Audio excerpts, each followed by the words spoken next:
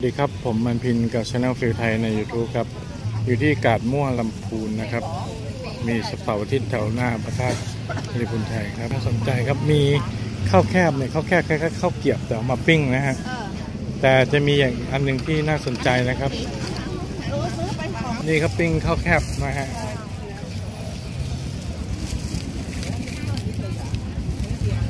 นี่ครับปิ้งข้าวแคบครับ มีอีกอันหนึ่งที่น่าสนใจคือข้าวน้ำหนังครับ น้ำหนังนี่จะไม่ใช่ข้าวเกียบนะครับ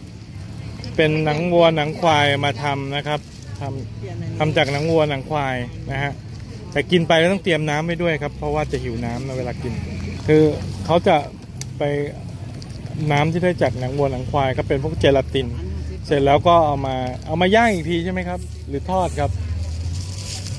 นี่ทอดหรือย่างครับเนี่ยย่างอะย่างนะครับย่างครับอ่าพอทำเป็นแผ่นแล้วก็มาย่างอีกทีครับ เดี๋ยวไปลองกินดูนี่ครับหาทานยากครับ น้ำหนังครับ นี่ครับเขียนอย่างเงี้ย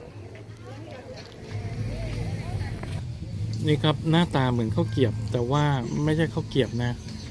ทำจากหนังควายครับผม เหมือนเขาโรยเกลือไว้หน่อยนึงนะฮะมาชิมกันครับอืม กรอบเค็มหน่อยเขาโรยเกลือไว้ครับ